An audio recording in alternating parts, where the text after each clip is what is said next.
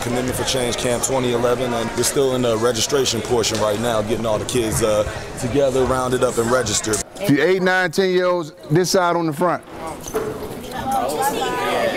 For those who don't know me, um, Keion Carpenter. Good to see y'all again for the third year. My, my main issue is for this week and from, from here on out, a lot of guys who's been here all three years, we are a family. We take care of each other. From this point on, you guys will forever will be a part of the Commitment for Change family.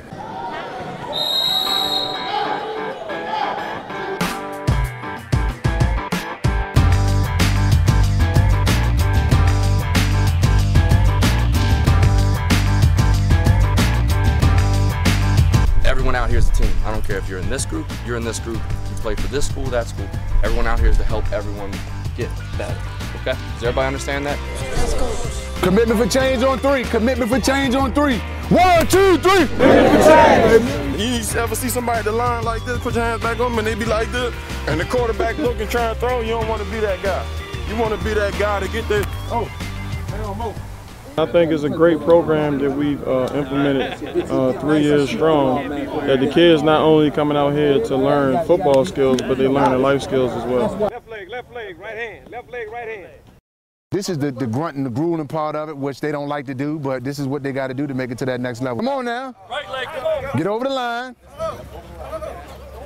You look like you dancing over here. I consider this guy a little brother to me. You know, been knowing him since he was, what, 17 years old at Virginia Tech. Um, and he came all the way here to share a story with y'all. Clap it up for Mr. Michael Vick.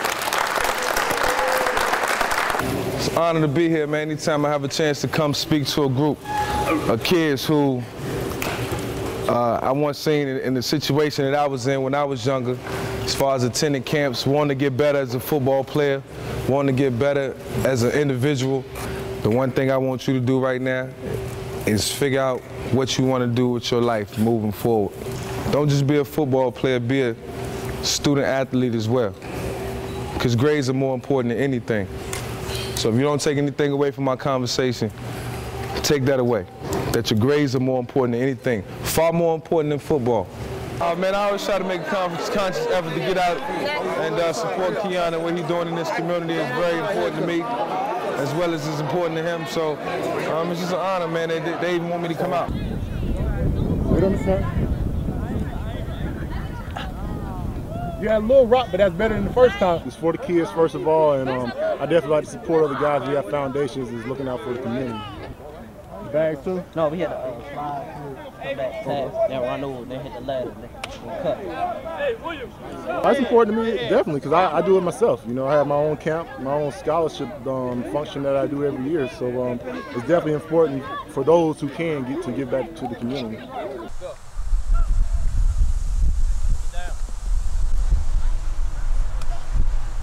Show support, help out the kids, say a few words of encouragement, and support things like this that keep kids off the streets, out of trouble, and um, you know, trying to do well and, and be successful in life. One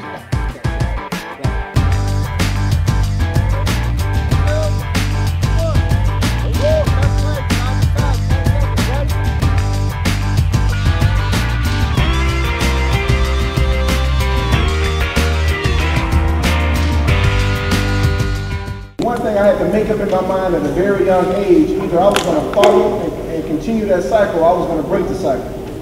So what I decided to do was break the cycle. I decided to study harder in school. And when I got a chance to play sports, I would. So it was just kind of like whenever I had the opportunity to do something which I thought was positive, I put everything into it.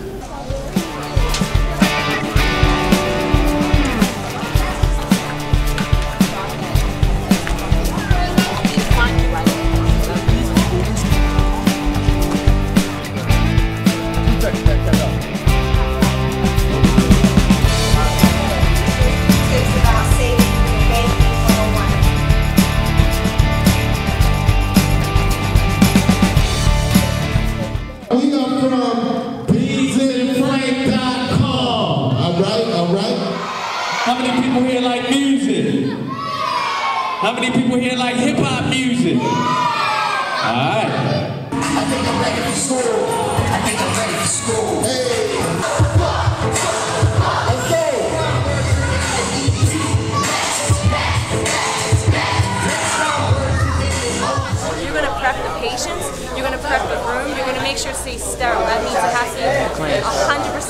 Because the most important thing you can do is complete your bachelor's degree, minimum of your bachelor's degree. So you have drugs and education, they're still competing. But it seems like right now in the inner cities that the drugs and the attitude and the behavior with the drug is winning. So we try to change that behavior and that attitude towards it.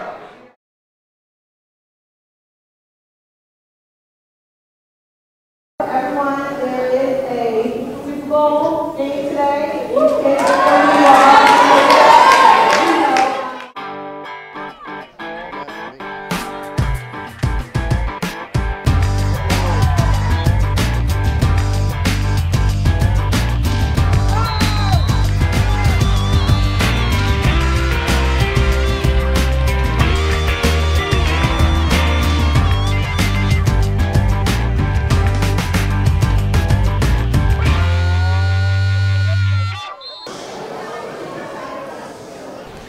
To in order to in order to make your vision come to life, you have to have people that are committed just as you are. And for for us being our third year, um, you know, a lot of us, most of these people were here with us when we first started, with about 60 to 80 kids, and we've grown to over 200 kids in three years.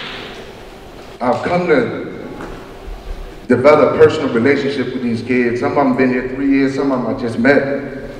But through the course of this week, I consider all of these like my sons and my little brothers.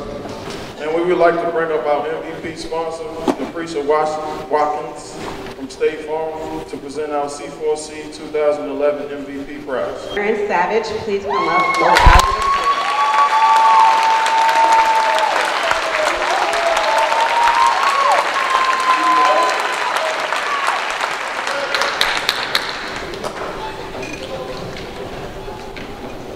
We have a little small token for you. It is an State Farm laptop bag. I'm teasing, we got something more. iPod Touch.